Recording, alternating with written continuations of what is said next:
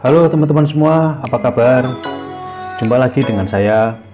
Semoga kita semua masih dalam keadaan sehat dan senantiasa dalam lindungan Tuhan Yang Maha Kuasa. Pada episode kali ini kita akan belajar bab 8 dari CPUB edisi tahun 2018 yaitu tentang inspeksi diri. Inspeksi diri merupakan bagian penting dari penerapan CPUB sebagai implementasi fungsi dari bagian penjaminan mutu atau quality assurance di industri farmasi. Secara prinsip tidak ada perubahan antara CPUB 2018 dengan CPUB edisi tahun 2012. Hanya judul babnya saja yang berubah. Pada CPUB 2012, judul dari bab ini adalah inspeksi diri, audit mutu, dan audit dan persetujuan pemasok. Sedangkan pada CPUB edisi tahun 2018, bab ini diberi judul inspeksi diri saja. Apa dan bagaimana kegiatan inspeksi diri ini dilakukan di industri farmasi dan hal-hal apa saja yang perlu diperhatikan dalam pelaksanaan diri ini. Ikuti terus video ini hingga tuntas untuk mendapatkan jawaban dari pertanyaan. Materi dalam video ini dapat Anda unduh di link yang sudah saya sertakan di deskripsi di bawah ini. Video ini merupakan episode ke-19 dari materi belajar, belajar manajemen farmasi industri. Jangan lupa untuk like, komen, dan share, serta tekan tombol subscribe bagi Anda yang belum subscribe, serta gambar lonceng di sebelahnya, agar Anda tidak ketinggalan info-info terbaru mengenai farmasi industri, farmasi industri dari saya. Semoga video ini bermanfaat bagi kita semuanya dan selamat menyaksikan.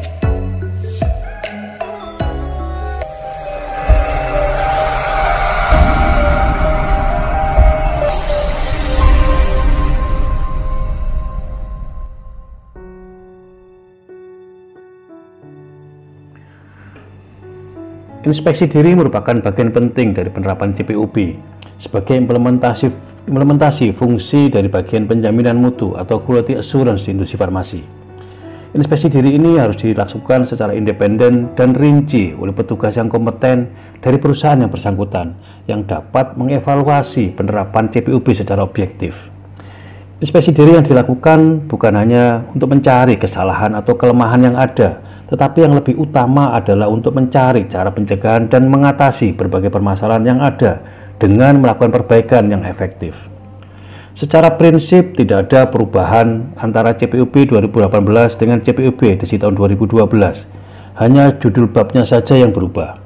Pada CPUB edisi tahun 2012, judul dari bab ini adalah inspeksi diri, audit mutu dan audit dan persetujuan pemasok. Sedangkan pada CPUB edisi tahun 2018, bab ini diberi judul inspeksi diri saja. Sedangkan isi maupun segala macam yang ada di situ tidak ada perubahan sama sekali. Sehingga kita bisa menggunakan contoh-contoh penerapannya dalam buku POPP CPUB edisi tahun 2012. Inspeksi diri adalah audit yang dilakukan oleh orang dalam organisasi itu sendiri untuk memastikan pemenuhan terhadap berbagai aspek CPUB serta berbagai peraturan pemerintah yang berlaku. Selain itu, tujuan daripada inspeksi diri ini adalah untuk mengevaluasi apakah semua aspek produksi dan pengawasan mutu dari industri farmasi yang bersangkutan telah memenuhi ketentuan yang, yang diatur di dalam e, pedoman cara pembuatan obat yang baik atau CPOB. Nah, dalam pelaksanaan dari inspeksi diri ini ada beberapa hal yang perlu kita perhatikan. Program inspeksi diri ini hendaklah dirancang untuk mendeteksi kelemahan dalam pelaksanaan CPOB dan untuk menetapkan tindakan-tindakan perbaikan yang diperlukan. Inspeksi diri ini hendaklah dilakukan secara independen dan secara rinci oleh petugas yang kompeten dari perusahaan yang bersangkutan yang dapat mengevaluasi penerapan CPUB ini secara, efek, eh, secara objektif. Kemudian inspeksi diri ini hendaklah dilakukan secara rutin dan di samping itu pada situasi yang khusus misalnya dalam hal penarik, terjadi penarikan obat jadi atau terjadi penolakan yang berulang. Kemudian saran untuk tindakan perbaikan ini tidaklah dilaksanakan oleh bagian yang ter, eh, yang terdapat pada temuan-temuan pada saat terjadi eh, dilakukan inspeksi diri ini. Kemudian prosedur dan catatan inspeksi diri tidaklah didokumentasikan dan dibuat program tindak lanjut yang efektif. Pada pada pelaksanaan dari CP, eh, inspeksi diri ini eh, ada beberapa hal yang perlu kita perhatikan.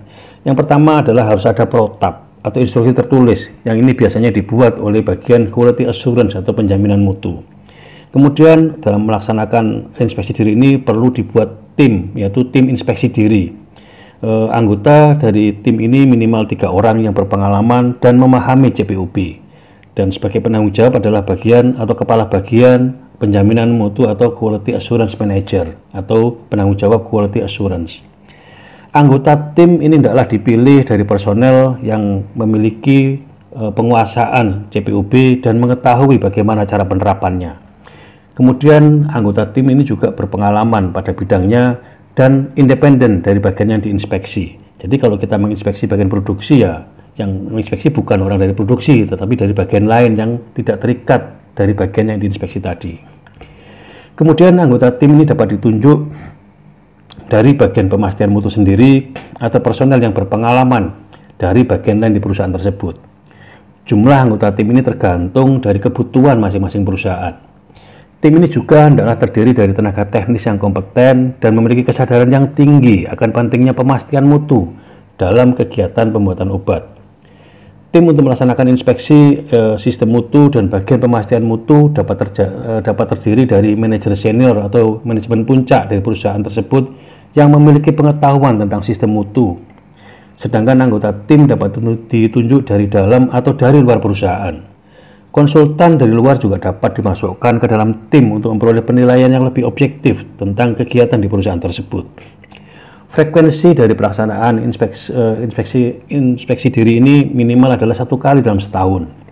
Dan setelah dilakukan inspeksi inspeksi diri, maka harus dibuat laporan inspeksi diri yang mencakup hasil inspeksi, evaluasi, dan kesimpulan serta saran tindak lanjut dari perbaikan tersebut.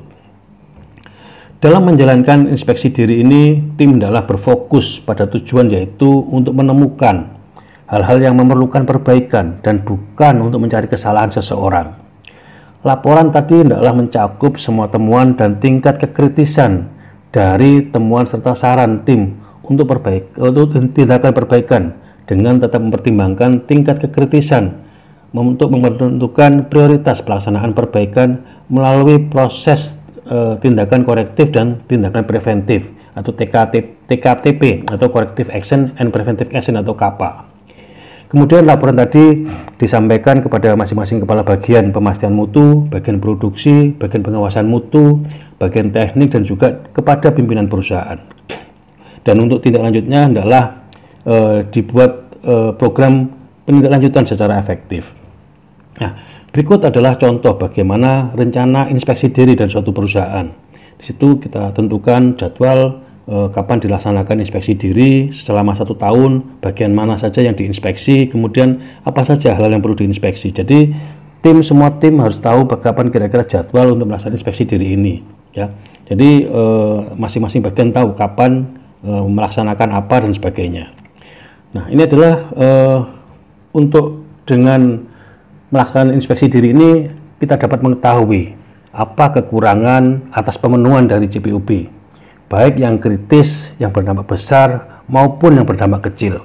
Nah, untuk penilaian e, terhadap kekurangan atas pemenuhan CPIP tersebut dapat kita kategorikan berdasarkan tingkat kekritisannya sebagai berikut, yaitu tingkat ke, tingkat kekritisan atau kritis atau kritikal dengan biasanya dipilih huruf dengan huruf C besar adalah kekurangan yang mempengaruhi mutu obat dan dapat mengakibatkan reaksi fatal terhadap kesehatan konsumen sampai mungkin juga terjadi kematian.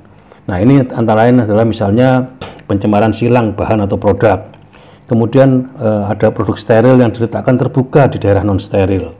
Kemudian air murni atau air untuk injeksi yang tercemar ini juga merupakan salah satu eh, hal kritikal yang bisa menyebabkan terjadinya reaksi yang fatal kepada konsumen. Kemudian salah penandaan, nah atau mix up ya. Jadi ini adalah merupakan salah satu temuan yang Eh, tingkat kekritisannya adalah tingkat kritis atau kritikal eh, tadi. Kemudian karyawan yang belum terlatih bekerja di daerah pengisian steril atau aseptis. Ini juga merupakan uh, temuan yang sangat kritikal yang bisa mempengaruhi mutu dari obat tadi yang bisa menyebabkan hilangnya nyawa seseorang. Kemudian tingkat kekritisan yang berdampak besar. Ini biasanya diberikan uh, huruf M, M besar ya. Adalah kekurangan yang mempengaruhi mutu obat tetapi tidak berdampak fatal terhadap kesehatan konsumen.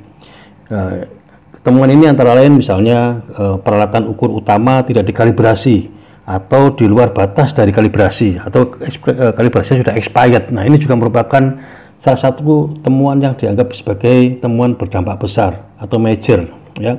Kemudian e, penyimpangan dalam proses yang tidak didokumentasikan dengan benar. Kemudian ketidaklengkapan pengisian dari catatan batch. Nah, ini juga merupakan salah satu temuan yang sering juga kita temui pada saat kita melakukan inspeksi diri dan ini berdampak besar atau major. Kemudian tidak dilakukan inspeksi terhadap perusahaan penerima dari kontrak ini juga termasuk di dalam temuan yang dianggap sebagai tingkat kekritisan adalah major atau berdampak besar. Kemudian eh, temuan eh, yang berdampak kecil atau minor ya adalah kekurangan yang kecil pengaruhnya terhadap mutu obat dan tidak berdampak langsung terhadap kesehatan konsumen. Ini misalnya temuan pembersihan gudang yang tidak sesuai dengan jadwal. Jadi Eh, jadwal pembersihannya sudah terlewati. Nah, ini adalah merupakan temuan yang berdampak kecil dan e, tidak berpengaruh besar, tetapi e, merupakan temuan dari penyimpangan dari CPUP. Ini di, dikategorikan dengan e, temuan berdampak kecil atau minor. Kemudian permukaan dinding yang retak yang bukan di area produksi, ya. Kalau di area produksi menjadi temuan yang kritis. Kenapa? Karena bisa menyebabkan terjadinya cross contamination. Nah, tapi kalau di luar uh, area produksi maka di, di tingkat dikategorikan sebagai temuan yang minor. Nah, kemudian catatan ditulis dengan pensil. Nah, ini juga merupakan pelanggaran terhadap penerapan dari CPUB dan dikategorikan sebagai temuan yang berdampak uh, kecil atau minor. Kemudian seragam kerja tidak dipakai secara benar, misalnya tidak dikancingkan atau merupakan uh, atau atau misalnya sarung tangannya kurang sesuai dan sebagainya. Nah, ini adalah merupakan temuan-temuan dengan tingkat kekritisan yang berdampak kecil atau minor. Nah, kemudian audit mutu. Audit mutu eh, ini berbeda dengan inspeksi diri. Kalau inspeksi diri merupakan wajib dilakukan oleh eh, industri farmasi tadi, minimal setahun sekali. Nah, sedangkan audit mutu ini digunakan sebagai pelengkap dari program inspeksi diri ya. Nah, ini meliputi pemeriksaan atau penilaian sebagian atau semua bagian manajemen mutu dengan tujuan spesifik untuk meningkatkannya. Nah, umumnya eh, audit mutu ini dilaksanakan oleh spesialis dari luar. Jadi bukan dari tim eh, internal, tapi berasal dari luar. Namanya audit, audit dari luar ya. Nah, ini dilakukan oleh spesialis atau tim independen yang dibentuk oleh manajemen atau tim khusus yang dibentuk oleh manajemen. Tujuannya apa? Untuk menilai uh, sebagian dari keadaan suatu kasus misalnya, atau dengan tujuan khusus, misalnya apa? Sertifikasi. Nah, sertifikasi adalah termasuk uh, audit mutu ini yang dilakukan oleh otoritas pengawas obat dan makanan di Indonesia atau Badan POM. Nah, kemudian uh, hal lain juga yang diatur di dalam bab ini adalah tentang audit dan persetujuan pemasok. Ya. Nah, eh, pemasok ini menjadi sangat penting dalam CPUB edisi tahun 2018 ini karena terkait dengan berbagai macam persyaratan yang terutama adalah persyaratan bahan baku bahan dan, eh, dan bahan pengemas yang kemarin sudah kita bicarakan di edisi atau di episode tentang eh, produksi.